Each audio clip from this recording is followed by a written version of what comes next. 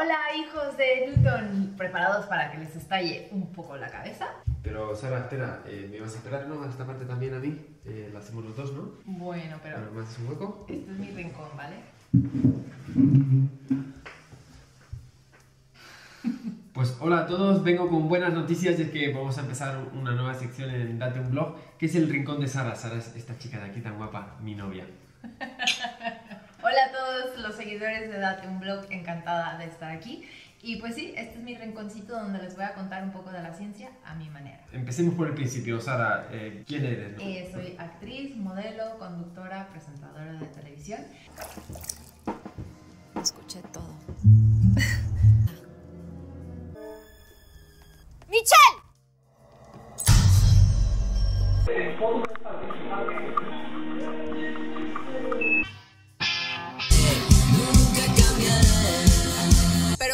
Nos dijiste que también tu mamá te ayudó en un momento muy importante a inspirarte para llorar. Soy de Estados Unidos, de padres americanos, pero crecí en México, por eso el acento mexicano que puede que me noten un poquito. Estudié en Estados Unidos, en NYU, UCLA, Boulder, Colorado. Y ahí nos conocimos en Guadalajara, en México, Sí. en una de mis giras con Big Bang.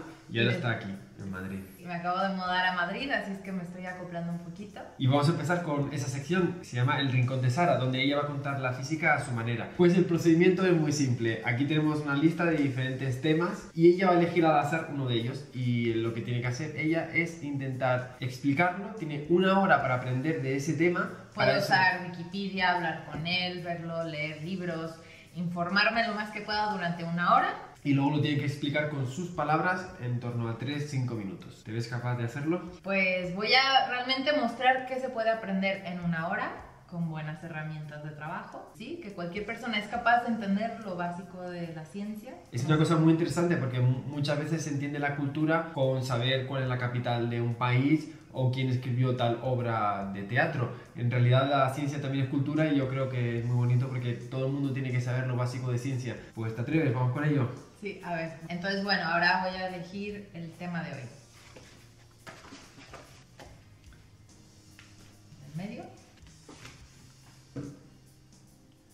Relatividad especial y general. Tienes una hora, Sara. Pues a estudiar, porque esto no sé. Adelante. Uno, dos, tres. ¡Tiempo!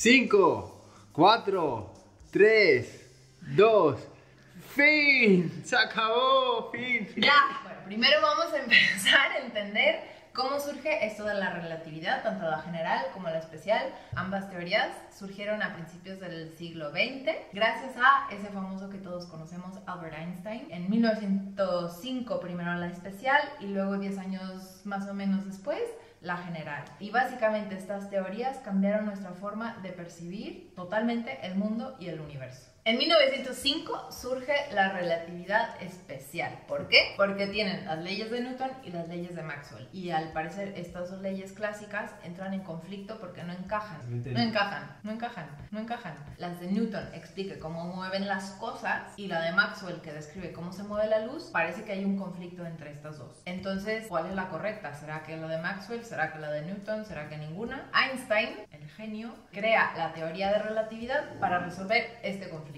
Vamos a empezar primero con relatividad especial, una teoría de la materia en el espacio y el tiempo sin tomar en cuenta la gravedad. La gran revolución que, que genera esta teoría es que por primera vez en la historia se toma en cuenta el tiempo como una nueva dimensión, que el tiempo realmente no transcurre de la misma manera en todos los sitios del universo, que básicamente, como yo lo había percibido y como yo pensé que todos lo percibíamos, es que es igual, es tic-tac, tic-tac, tac, que medimos con segundos, con relojes, todo, todo es igual, siempre el tiempo es constante. Y ahora Einstein con esta teoría dice que no es constante, que no es así, que dependiendo de qué tan rápido te muevas, el tiempo transcurre de manera distinta. Dos gemelos separados en diferentes partes del universo, uno moviéndose súper rápido y uno súper lento, uno puede envejecer mucho más rápido que el otro. ¿Vieron la película de Interstellar? Que un padre puede llegar a estar más joven que su propia hija y que eso es real. Yo pensé que era eso era de los locos que se habían fumado algo antes de escribir ese guion. Todo esto es esencial de la relatividad especial. Diez años más tarde, Einstein llega y toma su teoría de la relatividad especial, como si no fuera suficiente haber descubierto eso, y hace como un tipo de upgrade, como cuando cambias de coche o de teléfono o de novio, siempre para mejor, esperemos hace una teoría de relatividad general que engloba lo que era el especial. Es una teoría de la materia en el espacio y el tiempo, ahora sí, tomando en cuenta la gravedad. Hasta ahora había creado la teoría de relatividad especial que ayudaba a entender qué ch es el espacio y el tiempo, el espacio-tiempo. Y ahora con esta de relatividad general trato de explicar qué se produce al jugar con el espacio-tiempo y, usa eso para entender la gravedad. Entonces, tomando la materia en el espacio y el tiempo y jugando con él, distorsionándolo, eso es lo que produce lo que nosotros percibimos como gravedad.